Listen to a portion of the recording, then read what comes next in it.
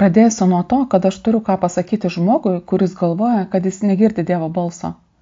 Taip, tu esi Dievo vaikas, tu esi krikščionis, tu gimė iš naujo, bet tau atrodo, kad tu negirdi Dievo balsą ir kiekvieną kartą, kai yra paraginimai, ką tau Dievas pasakė, klausykite jo balso, tu supranti, kad tu jo negirdi. Bet noriu pasakyti, kad tau tik taip atrodo. Ir žinai, kodėl tau tik taip atrodo? Nu, todėl, kad Dievo žodis yra tiesa. Dievo žodis visą laiką nubrėžia realybę. Dvasinę realybę. Ta realybė, kur yra labiau patikima ir labiau tikresnė už šitą materialią realybę. Ir Dievo žodis tavo situaciją apibūdina va taip mano avis girdi mano balsą. Ir dar toliau Jėzus sakė, kad mano avis atpažįsta mano balsą. Taigi aš noriu tau pasakyti, jeigu jau gimė iš naujo, tu turi įgimtą sugebėjimą tiek girdėti, tiek atpažinti Dievo balsą. Tu jau turi tą gebėjimą, tą dvasinę klausą, jeigu nori. Ir aš šiandien kalbu būtent tau, asmeniškai tau, kuris va taip galvoju, kurio viduje yra ta sumaištis. Ir tu galvoji, ar čia Dievas, ar čia ne Dievas kalbėjo. Niekada nesi užtikrintas tuo, ką tu laikai Dievo balsu savo, Dievo girdėjimu savo. Žinai, kur yra tavo problema? Tu per daug reikšmės skiri tiems dalykams, kurie nėra Dievo balsas. Kitiems balsams. Jie tau yra daug reikšmingesni už tai, ką kalba žodis, arba, arba vienodai reikšmingi. Štai kodėl tu negebėt skirti Dievo balsų, nors jis tau kalba. Ir taip pat tu lauki, kad Dievas tau kalbės, Dievas tau apsireikš antgamtiškai. Nu, vad, gali būti regėjimas, ar tai ateis kažkas kažką pasakys. Žodžiu, tu lauki tokios antgamtinės apraiškos iš išorės. Ir tu tai priimsi kaip Dievo balso kalbėjimą. Na, ta prasme, ar tai būtų sapnas, ar tai būtų kažkas gaus tavo atveju žodį iš Dievo, kažkas tau turi ateiti pasakyti, ar ten, sakysime, aplinkybės kažkaip turi būtent taip susiklostyti ir tu suprasi, kad va čia tai, tai patvirtina, kad tai yra Dievo žinia tau. Tau tai yra labai svarbu reikšminga, tu lauki tokio kalbėjimo. Ir tu esi girdėjęs, kaip žmonės pasakoja, kad jiems taip yra Dievas kalbėjęs, o tais tokiais antgamtiškais būdais. Be abejo, kad taip gali būti, bet noriu tau pasakyti, tai yra vienas ir du procentai iš šimto, kaip Dievas kalba. Taigi tu susikoncentruodamas į tokį va antgamtinį kalbėjimą, užkemši savo paties ausis 98 procentams to, kaip Dievas tau kalba. Dėl to kankiniesi, nusimeni, nes tavo nuomonė tu jo negirdi. Tu paprasčiausiai nekreipi dėmesio į tai, kaip Dievas kalba per savo žodį, per tavo dvasę. Jeigu jis nekalba tau taip, kaip tau atrodo, jis turi kalbėti. Taigi aš tau noriu pasakyti, tu jau turi dvasinę klausą, tu atpažįsti ganytojo balsą, kadangi taip raštas sako. Man net neįdomi tavo nuomonė, aš tau sakau, ką kalba Dievo žodis, kuris yra tiesa. Ir aš tau dabar sakau, tam, kad tu pradėtum atpažinti Dievo balsą savo, tau reikia didesnę vertę skirti Dievo žodžiui, kurį tu žinai, supranti? Nes Dievas kalba tau per žodį. Lygiai taip pat Tau reikia kreipti dėmesį ir reaguoti į vidinį dvasios liudijimą, kuris jau yra tavyje. To negalima ignoruoti, į tai reikia kreipti dėmesį. O ne vien laukti tų ant gamtinio praaiškų, kurios kada nors iš tikrųjų buvo vieno ar kito žmogaus gyvenime. Bet Dievas neprivalo tavo gyvenime veikti taip, kaip jis veikia pas vieną ar pas kitą ar pas trečią žmogų. Kaip sakant, neapvilk Dievo balso kalbėjimo kažkokią uniformą. Ir iš tikrųjų, jeigu tu Taip sakant, perimsi savo vidinį girdėjimą į tuos dalykus, į Dievo žodį, kurį tu jau žinai. Ir į tai, kas darosi tavo dvasia, tu suprasi, kad tu jau dabar, netgi dabar, tu žinai, kaip tau reikia elgtis, tu žinai, ką tau reikia daryti. Ir tu atpažinsi tą Dievo vedimą tiesiog dabar, savo situacijose. Aš suprantu, tu nori, kad Dievas ateitų, paimtų tave už rankos ir padėtų tau perti tą gatvę, kurios tu nesiryšti pereiti kur tau nesaugu, kur tu bijai, bet žinai, ką aš tau pasakysiu? Žiūrėk, pažiūrėk į šviesoforą, tau jau dega žalia šviesa. Tu pats turi kojas, pats turi smegenis, pats turi širdį, Dievas mano, kad tu pats esi gabus pereiti tą gatvę. Nereikia sėdėti ir laukti, kol jis tave paims už rankytės ir perves. Sek tais dalykais, kurie jau yra tavo širdyje. Dievas jau yra įdėjęs troškimus į tavo širdį, Ir tu turi sekti jais. Ir Dievas pasitikė tavim, kad tu pasitikėsi jo žodžiu, jo dvasios vedimu. ramybės liūdėjimų tavo širdyje. Ir seksi tokiu būdu Dievo valia, ganytojo balsu. Dievas pasitikė, kad tu taip darysi. O tu nori, kad Dievas pribėgtų, paimtų tave ant rankų ir neštų per visą gyvenimą, o tu tiesiog saugiai, kaip sakant, sėdi ant rankyčių. Ir viskas, ir tau nieko nereikia daryti, tu tiesiog skrendi. Ne, Dievas tau davė kojas, Dievas tau davė širdį, Dievas tau davė smegenis, kurią turi galvoti. Ir jis pasitikė, kad tu tai naudosi. Taigi tau tiesiog dabar reikia daryti žingsnį, reikia daryti tikėjimo žingsnį, o nelaukti dar vienus metus, penkis, kol tu gausi kažkokią pranašystę, kažkokį išornį paliūdimą, kažkas tau kažką pasakys. Nieko laukti nereikia, tu viską jau turi, viską jau žinai. Daryk tikėjimo žingsnį, pajudėk iš tos vietos, kur tu esi. Ir nežinau, ar nuraminsiu, ar išgazdinsiu, bet dažna kartą, kai Dievas mums duoda tokius antgamtinius savo valios paliudimus, ar tai būna kažkoks regėjimas, ar tai būna kažkokios ten pranašystės iš kitų žmonių lūpų, ar nu, vat, kažkokie tokie antgamtiniai dalykai, kurie yra tikrai nekasdieniški, dažna kartą, dažna kartą. Tai būna dėl to, kad tavęs laukia sunkus laikas, sunkus periodas ir Dievas tau duoda tokį pastiprinimą, kad kai tu pats abejosi, tu tikrai prisiminsi, ne, bet tie žmonės, jiegi nieko nežino apie mano situaciją, jie atėjo ir pranašavo, kad bus taip ir taip. Arba vienas ar kitas toks antgamtinis dalykas įvyko. Dažna kartą tai yra toks ypatingas pastiprinimas prieš ypatingai sudėtingą laiką. Bet aš galiu tau pasakyti, kad tu viską turi, kad Dievą girdėtum ir Dievas pasitikė, kad tu jį girdėsi. Kad tu liausiasi sakęs, ne, aš tai ne, nežinau, kiti girdi Dievą, aš tai negirdžiu, aš tai nieko nesuprantu. Ir iš tikrųjų šiandien norėjau pasikalbėti su jumis, kaip reikia melstis pagal Dievo valią. Dievas kviečia mus į maldą, į bendravimą maldoje. Ir kaip dabar reikėtų pasižiūrėti, koks tas mūsų maldos gyvenimas atitiktų Dievo valią, Dievo žodį, nes kalbant apie maldą yra tiek daug painiavos. Taigi noriu iškart pasakyti, kad jeigu tu galvoji, nežinai, ar čia reikia melsis, ar čia jau nebereikia melsis, juk viskas kaip ir padaryta, ta prasme, Tai aš tau galiu pasakyti, Dievo valia yra, kad tu melstumėsi. Pradėsime nuo laiško kolosiečiams 1.9. Taigi, nuo tos dienos, kaip tik išgirdome apie jūs, mes nepaliaujame melstis dėl jūsų, prašydami Dievo, kad jūs būtumėte pilni jo valios pažinimo su visų dvasinio supratimu. Ką atskleidžia šitą rašto vietą? Apaštlas Paulius meldžiasi ir aš nemanau, kad apaštlas Paulius, kaip sakant, melzdavosi tuščiai, tikrai nemanau. Taigi jis meldžiasi, kad krikščionis būtų visiškai įsitikinę, tai yra būtų pilni Dievo valios pažinimo savo. Sako, kad jie suprastų, kas jiems yra Dievo valia. Ir kad suprastų tai turėdami dvasinį supratimą. Taigi šita malda aktuali ir tau ir man. Vadinasi, jinai sako, kad mes galime tikrai žinoti savo Dievo valią. Ir tai gali būti, tai yra Dievo valia, kad mes ją žinotume. Nes melstis reikia tik dėl to, kad tu gautum atsakymą. Taip, kad atsakymas būtų išlaisvintas. Ir vadinasi, galima melstis už kitus žmonės, kad jie būtų pilni jo valios pažinimo. Taigi noriu pasakyti, kad tai yra normalu žinoti Dievo valią savo, savo situacijoje ir būti visiškai užtikrintų, ta prasme, nesimaišyti, nesiblaškyti. Ir mes anksčiau pamokose jau kalbėjome, kad yra skirtumas tarp tos bendrinės objektyvios Dievo valios ir subjektyvios kiekvieno klausimų kiekvienoje situacijoje konkrečios Dievo valios pažinimo. Na, ta prasme, kad, sakysime, yra dalykai, kur tiesiogiai Biblija nesako, pavyzdžiui, ar tau važiuoti į šitą miestą ar ne į šitą, ar tau eiti į vieną darbą ar pasirinkti kitą darbą, va tokie subjektyvūs dalykai. Biblijoje, tai jeigu tu nerasi tiesiai šviesiai parašyta, taip tokio atsakymo. Tai yra subjektyvi Dievo valia, kuri kinta kiekvieno asmens atveju, kiekvienose aplinkybėse. Ir taip pat yra taip ta vadinama objektyvi, visiems bendrinė Dievo valia, kur yra aiškiai jau pasakyta Dievo žodėje. Taigi dėl jos nekyla jokių abejonių, ji yra paprasčiausiai aiški. Ir visiems tinkanti. Pavyzdžiui, nevok, nepalistuvauk. Tai yra daugiau negu aišku, jinai nesvarstytina. Ir taigi aš noriu pasakyti, jeigu tu, bet čia tokia yra širdies pozicija, jeigu tu savo širdyje priimi tą preikštą Dievo valią, na, aišku, ją reikia suprasti kontekste, kuri yra aiškiai išsakyta Biblijoje, tu ją gerbi, tu jos klausai, tu su ją neprasilenki, tai kiekvienu atveju suprasti tą subjektyvę Dievo valią, kuri kiekvienoje situacijoje, nu, kažkokia labai tau yra asmeniška, ją atpažinti ir suprasti pasidaro labai paprasta.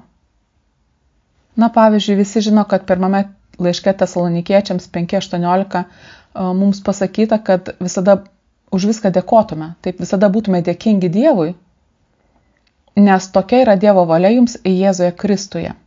Taigi gal tu gali kažkur būti geografiniai Dievo valiui, sakysime, tau reikia gyventi va, šitoj šalyje, ten dėl kažkokių tai priežasčių šitoj vietoje. Bet tu gali va, viduj prasilenkti su Dievo valia, nes tu gyveni toj vietoje bet tu nesi dėkingas, nesi patenkintas, nematai nieko gero. Ir taip pat mes matome, kad Dievo valia mums yra atskleista Jėzuje Kristuje. Todėl, kad Dievas pas mus ateina per Jėzų Kristų. Tame, kas yra Jėzus Kristus, mes susitinkame su Dievu ir matome Dievą veikiant. Ir Dievo valia mums yra apreiškiama tik tai Jėzuje Kristuje, esant Jėzuje Kristuje. Taigi Dievo valia yra suvokiama neišeinant už tų ribų, kokį Dievą mums parodė viešpats Jėzus Kristus. Ir taip pat, kalbant apie tai, kaip atpažinti Dievo valią savo savo situacijose, mes negalime nekreipti dėmesio į patarimus, kurie mums išsakyti romiečiams, romiečiams laiško 12 skyriuje, kur pasakyta, kad visų pirma mes turėtume pašvesti savo kūnus. Tai yra gyvenimą, kurį gyvename būdami šitame kūne, Jėzaus Kristaus viešpatystėje. Nu, tai reiškia, kad nebe tu pats vadovauji savo, nebe tu pats esi viešpačių viešpats savo gyvenime, bet jis yra viešpats. Ir tu viską suderini su juo taip.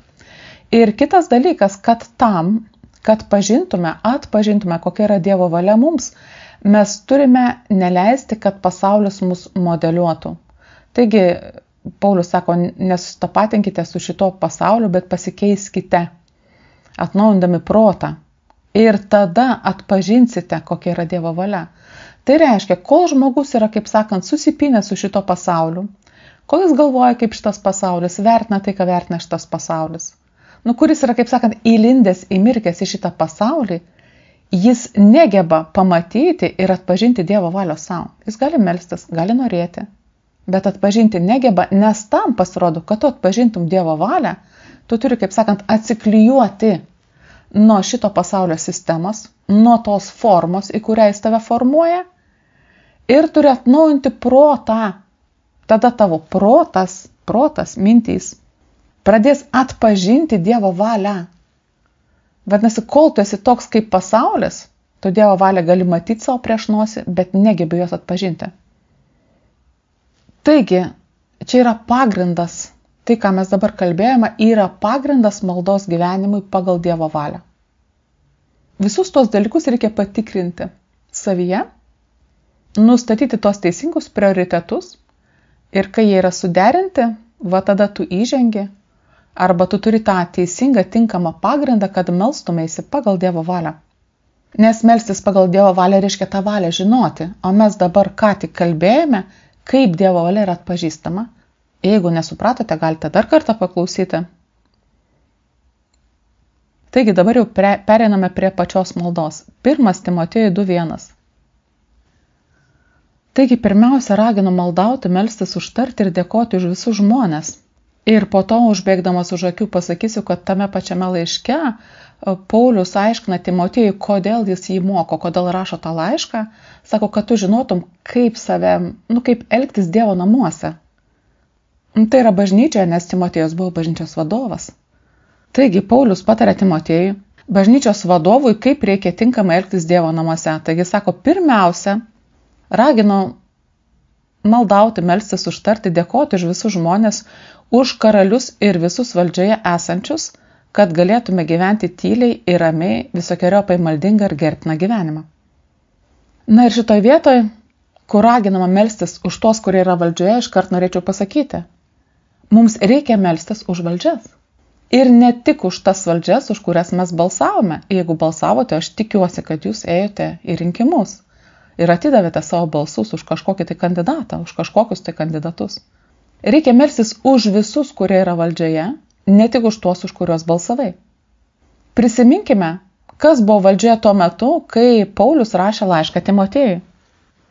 Žmonės ten nebuvo geriečiai, supraskite.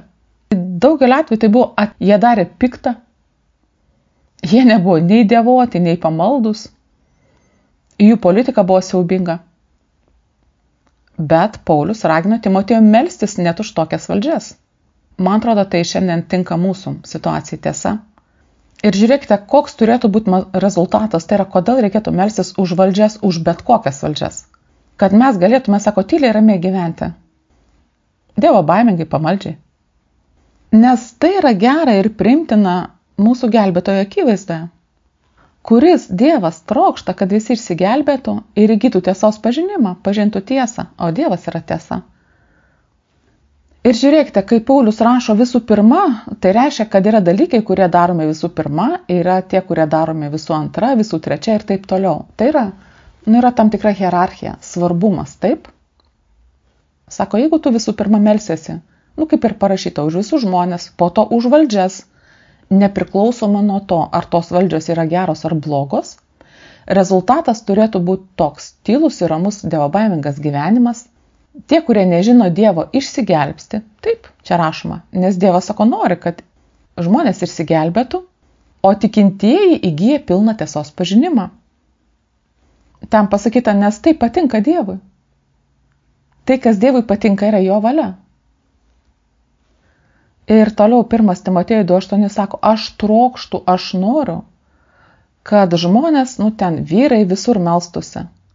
Tai čia yra troškimas, Dievo valia. Dievas nori, kad žmonės visur melstusi. Pakeldami savo šventas rankas, be pykčių ir abejonių. Taigi mums svarbu matyti, kas yra Dievo valia, kad galėtume melstis pagal Dievo valią tiesa. Ir štai žiūrėkite, kiek daug atskleista yra Dievo valios.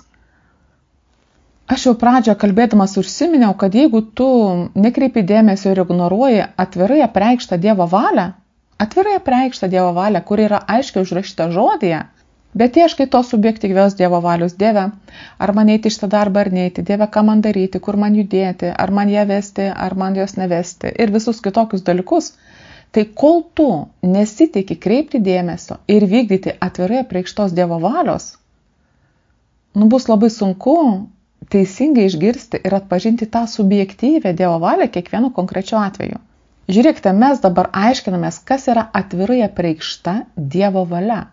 Ir jeigu tu ją ignoruoji, tu jos nevykdai, tu atsisakai ją girdėti, užsikimšiausis, nes dėl vienu ar kitų priežasčių tau nepatinka ar netrodo reikšminga, nu tai naivu tikėtis, kad tu išgirsi Dievo valią savo tose subjektyviuose dalykuose.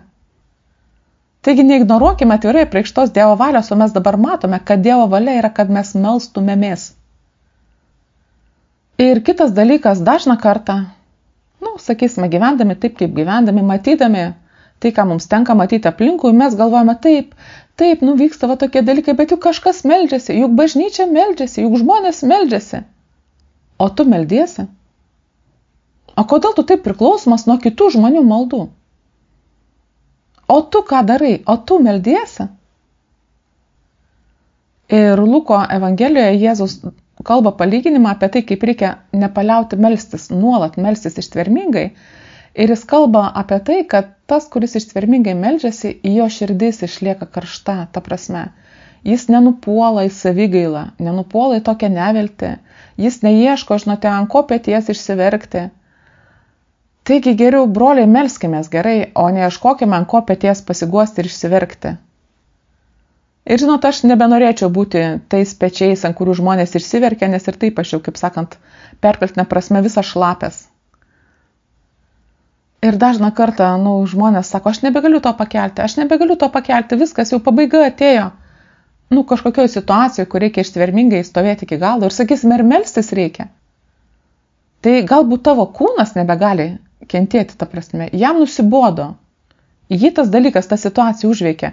Bet ačiū Dievui, kad Jėzus taip nepasakė, ne, nu aš nebegaliu žiūrėti to žmonės, aš negaliu į juos žiūrėti, aš viskas, pabaiga, aš nusisuku.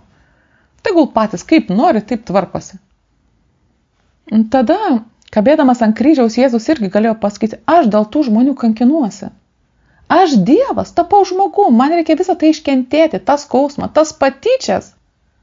Ir jie nevertina to, ką aš darau, jie nesupranta, kad aš dabar išperku jų nuodėmės, tam, kad jie turėtų galimybę neiti pragarą, jie iš manęs tyčiasi, jie spjaudo į mane. Atsiprašau, aš irgi turiu jausmus. Kam man reikia tai kesti?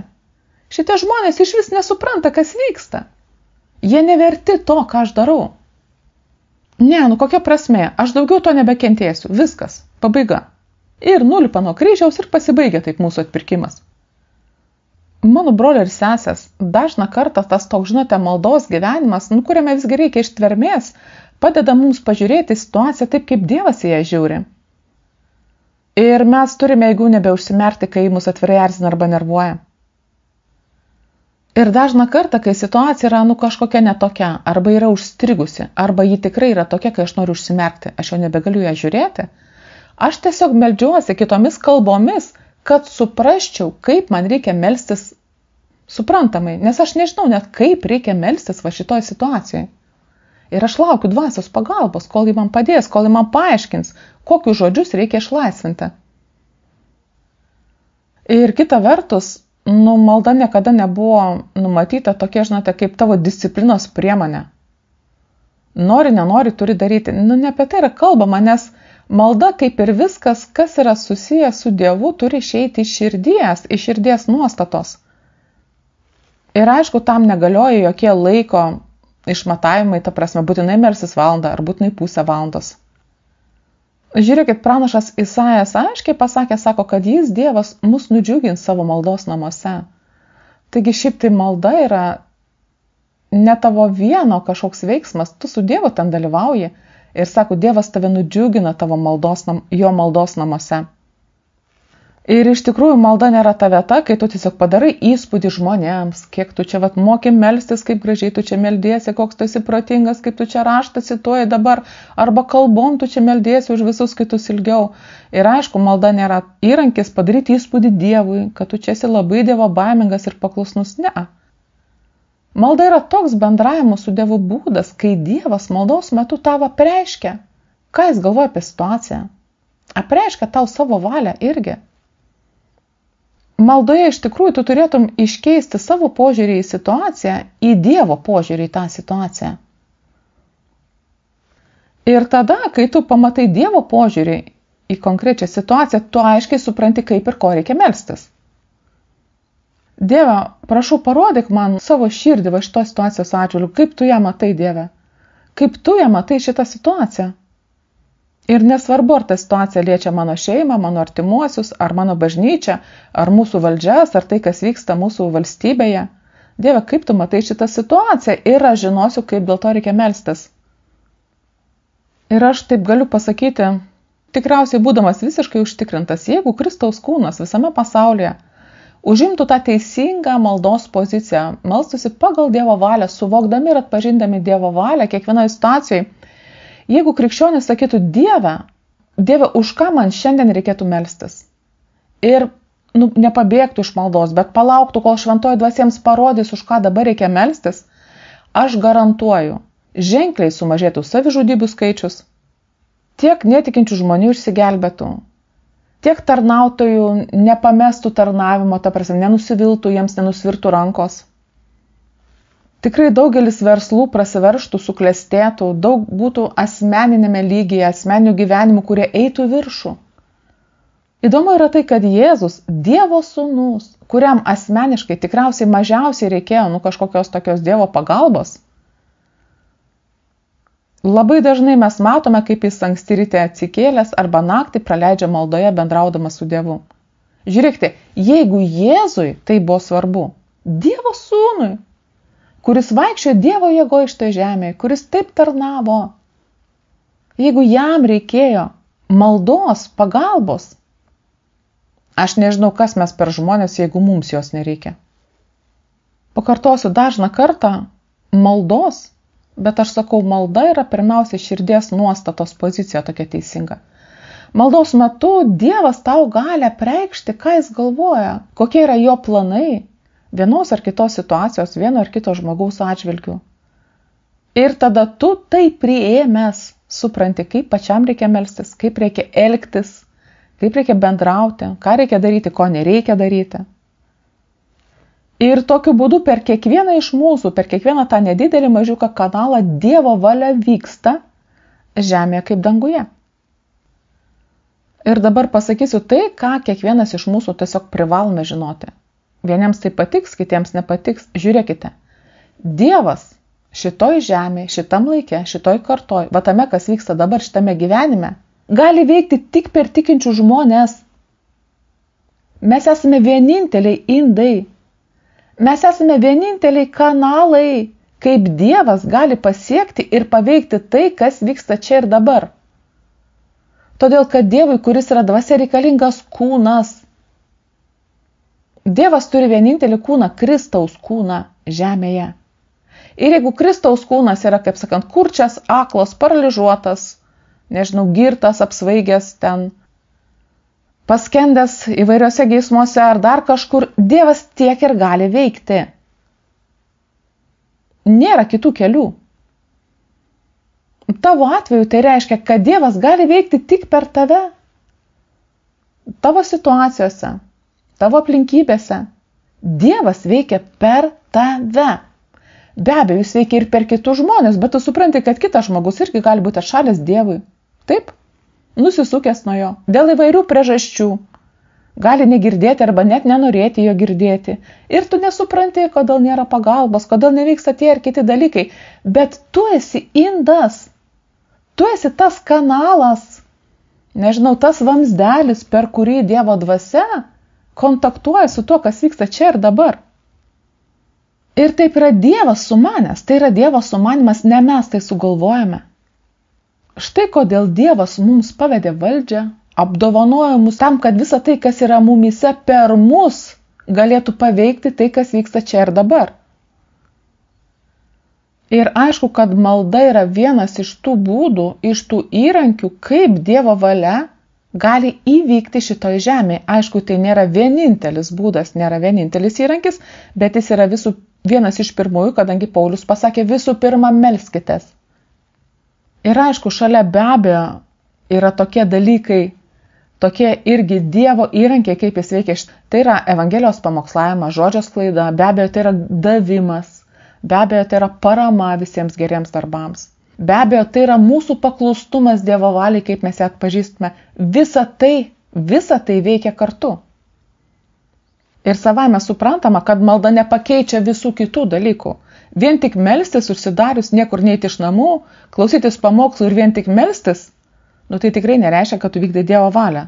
Suprantate, tai yra toks, nenoriu pasakyti negražiai, bet toks kaip ir invalidumas.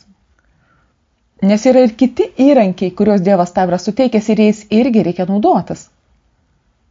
Dažną kartą aš nugirdžiu tokius komentarus, ar pas mane ateina žmonės, kurie manęs klausia patarimo, nes jie perskaito Andrivomo knygą Geresnis būdas melstis ir iš vis nebesimeldžia. Sako, tai ką melstis? Taigi Dievas viską padarė. Nuo manęs teks nepriklauso. Na ir jeigu žmogus taip galvoja, arba jeigu jam taip sušviečia, kad čia tokia teisinga išvada iš tos knygos, tai galiu pasakyti, nu tai yra neteisingas dalykas. Nes autorius knygą rašė ne dėl to, kad žmonės nebesimalstų. Jisai išvardino ir išnagrinėjo būdus, kurie nėra malda. Mums atrodo, kad tai yra malda, bet jie netitinka maldos pagal Dievo žodžio kriterijus. Ir va daug iš tų neteisingų būdų melstis daryti nereikia, nes jie nieko neduoda, jie yra visiškai neefektyvūs. Bet yra ir efektyvus, geresnis būdas melstis. Taigi melstis reikia. Tik nereikia melstis neefektyviai. Bet aš galiu padaryti išvadą, kad vadinasi žmonės, jų maldos gyvenime buvo tiek daug tų neefektyvių, klaidinančių dalykų, jie galvoja, kad tai yra malda, jie galvoja, kad tai yra malda pagal Dievo valią, jie tai darė. Ir perskaitę knygą suprato, kad visa tai, ką jie laikė malda, nėra malda, taigi jie sako, tai melstis iš vis nebereikia. Reikia melstis. Tiesiog reikia melstis pagal Dievo valią, pagal Dievo žodį. Taigi dar kartą pasakysiu, kad yra dalykai, kurie neįvyks, jeigu mes nesimelsime. Nes malda yra vienas iš įrankių, vienas iš įrankių, kaip Dievo valia vyksta žmogaus gyvenime šitoj kartoj pasaulyje. Yra dalykai, kurie neįvyks, jeigu mes nesimelsime. Taip pat yra dalykai, kurie niekada neįvyks, jeigu mes neišpažinsime žodžio, jeigu mes nepamokslausime, jeigu mes neaukosime, jeigu mes nedrasinsime vienas kito. Tai irgi yra, bet mes dabar kalbame apie maldą. Ir jūs manęs paklausė, na kodėlgi kai kurie dalykai neįvyks, jeigu mes nesimelsime, jeigu mes neskelbsime žodžio, jeigu mes neaukosime. Todėl, kad Dievo valia automatiškai nevyksta, ji vyksta per mus. Reikia mūsų dalyvavimo tikėjimu. Noriu trumpai panagrinėti pranašo Danieliaus pavyzdį. Žiūrėkite, pranašas Danielius, gyvendamas Babilono vergystėje, skaito pranašo Jeremijo knygą, man atrodo 29 skyrius, kur aiškiai yra parašyta, kada Dievas, kada Dievas išlaisvins savo tautą, ta prasme, kada jie grįž iš tos vergystės. Parašyta yra pakankamai aiškiai. Ką daro Danielius? Danielius aiškiai iš žodžio pamatęs, kokia yra Dievo valia šito klausimu, jisai sako, pradėjo pasnikauti melstis Dievui. Taigi klausimas, į kurį reikėtų atsakyti, kodėlgi pranašas Danielius pamatęs aiškiai Dievo valią, ten buvo užrašyta, taip, per pranašą Jeremiją, kodėl jis dėl to meldėsi? Tai kam reikėjo melstis? Taigi jau aiškiai užrašyta Dievo valia. Nu dėl to paties, dėl ko ir mums reikia melstis, kai mes randame Dievo valią savo gyvenimui, savo artimiesiems, užrašytą rašte, taip? Kai randame rašte, kokia turi būti Dievo valia dėl tautos, dėl valdžių, nežinau, dėl tavo verslo, dėl bet ko, bet kokios gyvenimo srities, tu randi Dievo žodį pažadą. Pažadas reiškia Dievo valią, jeigu tu esi Jėzuje Kristo, taip? Tai va dėl ko, kodėl reikia dėl to dar ir melstis? Nu, todėl, kad automatiškai tai tiesiog neatsitinka. Tai nėra burtaždis, tai nėra abrakadabra. Todėl, kad kažkas gyvas dabar žemė, tas, kuris turi kūną, tas, kuris turi valią, balsą, jis turi susitarti su Dievu, tai yra surašytų Dievo žodžiu, su išreikšta Dievo valia dėl to, ką Dievo žodis sako, dėl jo valios įvykimo, kažkas turi su tuo susitarti savo laisvą valią, tikėdamas, Kažkas turi tą Dievo valią, kuri yra užrašyta savo balsu išsakyti žodžio jėga. Reikia tai išsakyti, kad tie dalykai pradėtų vykti. Ir tada mes net nežinome, kokie procesai prasideda tame dvasinėme pasaulyje, kaip viskas pradeda judėti ir veikti, kad žodis, kuris tikėjimu yra išlaisvinamas, kad jis padarytų tą darbą, kuriam yra skirtas. Taigi Dievas ieško žmonių, kurie yra gyviai, kurie yra dabar žemėje, kurie funkcionuoja žemėje, kurie susitars su juo, su jo valia ir galės veikti kaip jo indai, kad ta valia būtų išlaisvinta visų pirma. Jie turi išlaisvinti tą žodį, išsakydami, ištardami, melsdamiesi, skelbdami ir be abejo tikėdami. Prisiminkite, kiek buvo pranašyščių apie mesijo gimimą, apie tai, kaip gims, iš kur jis gims, ta prasme, kokioje šeimoje, iš kokių namų jis ateis, kokie mieste jis gims ir kad tai jis gims iš nekaltos mergelės, kiek buvo pranašyščių. Bet tai realiai įvykti galėjo tik tada, kai viešpats rado žmogų, nu, kuris priemė tą žodį, tai yra kuris bendradarbiavo su Dievu, kuris drįso juo patikėti Ir žiūrėkite, ką Marija pasakė, tebūnie man pagal tavo žodį. Marija pritarė Dievui, pritarė pranašystėms, pritarė Dievo žodžiui.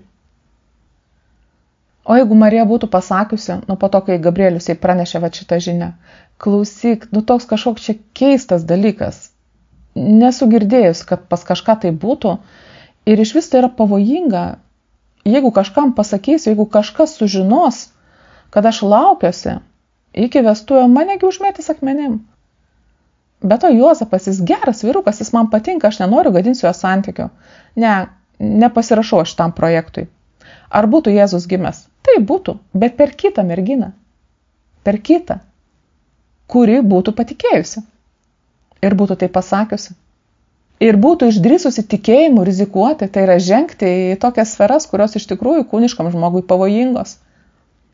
Ir galiu pasakyti, tiek daug yra tos Dievo valios, kurią Dievas nori apreikšti tavo gyvenime, bet tu galvoji, ne, nu, kaip ir gerai, kad tai būtų, bet kaip tai vyks, nesu girdėjęs, kad pas kažką tai būtų buvę.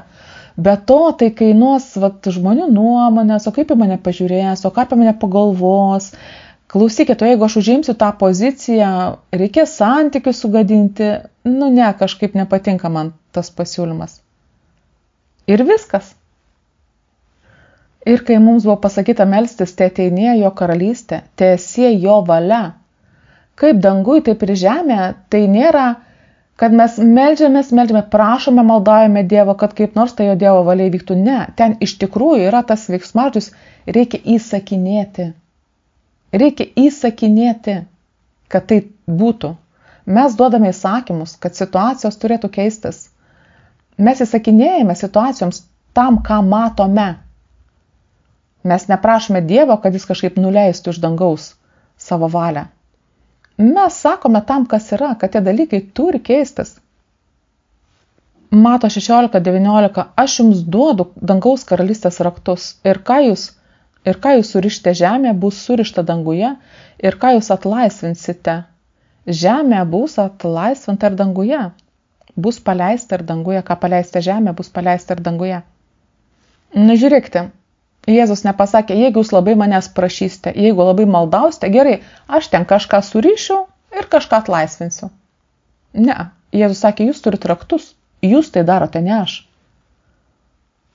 Matote, štai yra principas, kaip funkcionuoja Dievo karalystė štai žemėje, kaip jinai vyksta, tampa.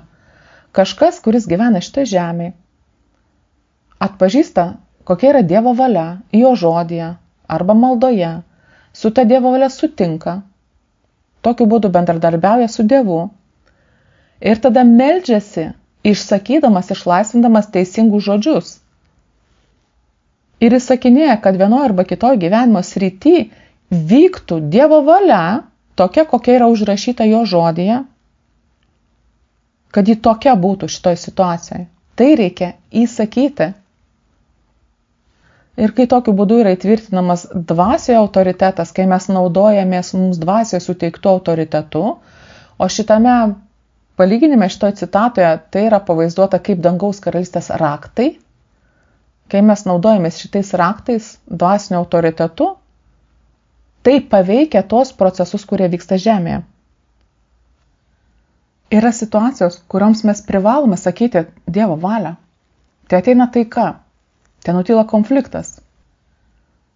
Te atsistato sveikata.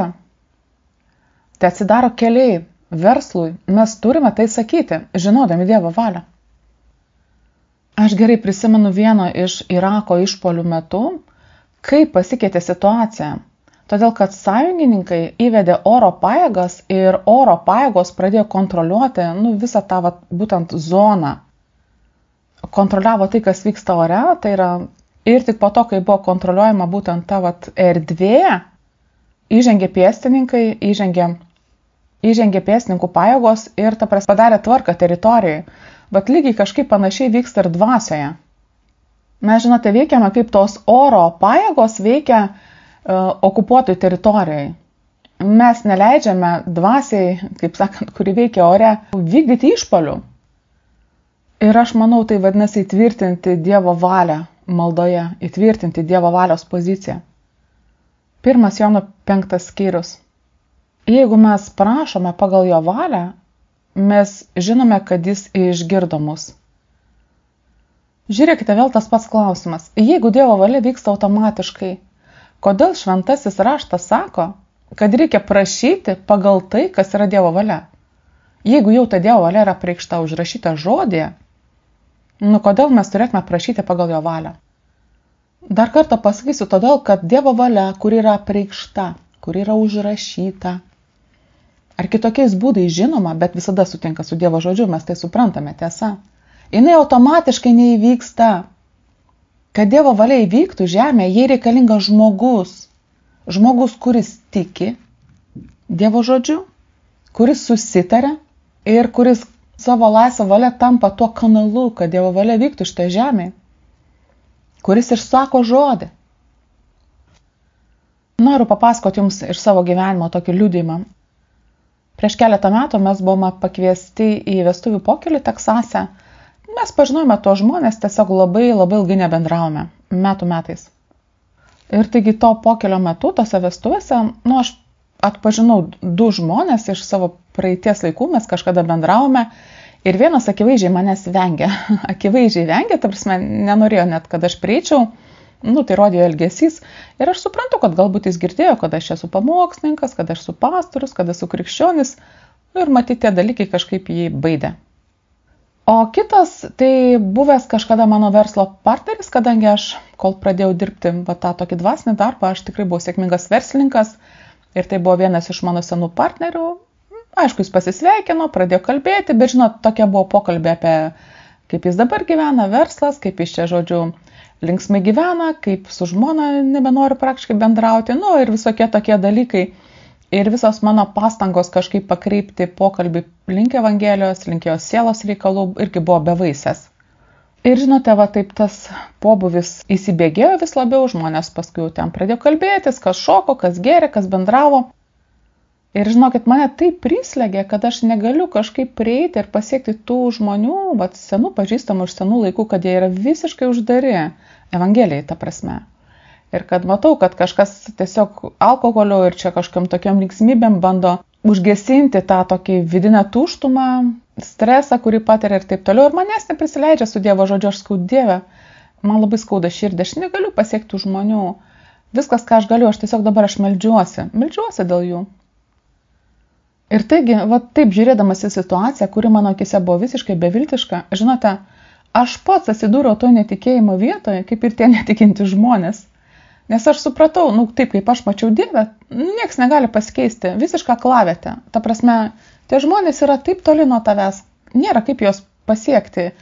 Ir aš supratau, kad aš jau šitoje situacijoje netikiu, visiškai netikiu, kad tie žmonės yra pasiekiami Ir staiga šventoji dvasia, va taip man trumpai pasimaldus, pasakė, teisingai, Gregai, tu nieko daugiau negali, pats tik tai melstis. Ir toliau jinai pasakė, žinai, va kartais yra situacijos, kai tu esi užvarytas į kampą, bet aš nesu užvaryta į kampą. Ir man reikia kažko, kas pakviestų mane dalyvauti šitoje situacijoje. Kad tam, kas žmogui neįmanoma, taptų įmanoma dėl to, kad Dievas ten dalyvauja. Ir žinote, tai kažkaip pakeitė mano perspektyvą. Man situacija tada nebetrodė jau tokia beviltiška ir aš supratau, kaip aš galiu melstis. Taigi aš iš karto surišau tą aklumo dvasę, kuri buvo juos apakinusi, kad nepamatytų Kristaus Evangelijos šviesos. Lygiai taip pat paprašiau, kad Dievas siūstų darbininkus į jų gyvenimus, nes jeigu manęs neklauso, paklausys kažko kito. Prašiau, kad Dievas jiems siūstų išminties ar prieškimo dvasę. Kai būna situacija ir mes matome, kad mes nieko negalime, esame kaip aklavitė, iš tikrųjų taip nėra. Nes mes galime melstis. Mes galime melstis ir Dievas per mūsų maldą yra įtraukiamas į situaciją. Dažnai gaunu klausimus, kaip melstis dėl tos valdžios, dėl to prezidento, kurį dabar turime, dėl jų vykdomos politikos, Nes daugelis žmonių tiki, kad pas mus Amerikoje buvo suklastoti rinkimai, kad ne tas žmogus turėjo būti išrinktas. Nu kągi aš pasakysiu, kaip jau ten bebūtų, vis tiek reikia melstis už tą žmogų, kuris yra valdžios pozicijoje. Visgi mūsų atsakomybė, kaip Paulius pasakė, visų pirma yra melstis už to žmonės, melstis, kad jie darytų gerus sprendimus, kad šalia jų būtų pastatyti teisingi patarėjai, teisingi žmonės, Ir taip pat reikia melstis, jeigu tie žmonės, kurie yra valdžioje, daro bedieviškus sprendimus, jeigu jie net gailauja ir nesikeičia, kad jie būtų pašalinti iš valdžios pozicijos. Ir tegul ateina kiti, nauji žmonės. Aš irgi esu už tai, kad reikia žiūrėti, už ką balsuoja ir reikia suprasti, koks yra tas tavo kandidatas, bet net jeigu yra išrinktas ne tas žmogus, ir net jeigu juo tu nesutinki, ir aš irgi nesutinku su labai daug dalykų, kurie vyksta dabar valdžia, vis tiek už jį reikia melstis. Žiūrėkite, kaip ten bebūtų, mūsų atsakymas yra ne politinis. Visų pirma, jis nėra politinis, jis yra dvasinis. Tai, kad bus labai teisingi politikai valdžioje, nu netgi ne tai yra gyvenimo problemų sprendimas, suprantate. O daugelis iš mūsų, mes ieškome saugumo politinėje valdžioje, politinėse struktūrose, valstybėje ir tai yra neteisinga. Iš tikrųjų atsakymas turėtų būti dvasiniuose dalykuose ir dvasiniuose namuose tu turėtum gauti palaikymą ir va, bažnyčia, tikroji geroji normalioji bažnyčia, tu turėtum gauti daugelį atsakymų ir saugumo jausmą taip pat. Tarp kitko, galite skaityti patarlės, galite skaityti šventą įraštą ir jūs matysite, kokia Dievo valia yra karaliams, tiems, kurie yra valdžioje, kokie jie turi būti, kokia yra Dievo valia, kad būtų karalius. Ir taip pat jūs galite rasti, ko Dievas nekenčia ką daro valdovai, prieš kokius valdovus yra viešpats. Ir tai irgi yra Dievo valia. Ir tų dalykų jos reikia melstis, jos reikia išsakyti. Na pavyzdžiui, patarlių 29.4. Teisingai valdydamas karalius sustiprina kraštą, o kas įma kyšius greuna jį. Levitų 19.13. Nespauskite ir neišnaudokite savo artimo, samdinio algos neslaikykite iki ryto. Taigi yra daug rašto vietų, kuriuose yra atskleista Dievo valia valdžių, valdovų, tų žmonių, kurie stovi valdžios pozicijų atžvilgių. Tai iš pradžių žinokite Dievo valią ir žinosite, kaip už juos reikia melstis. Oh, your mercy never fails me, and all my days I've been held in your hands. From the moments that I wake up until I lay my head, oh, I will sing of the goodness of God.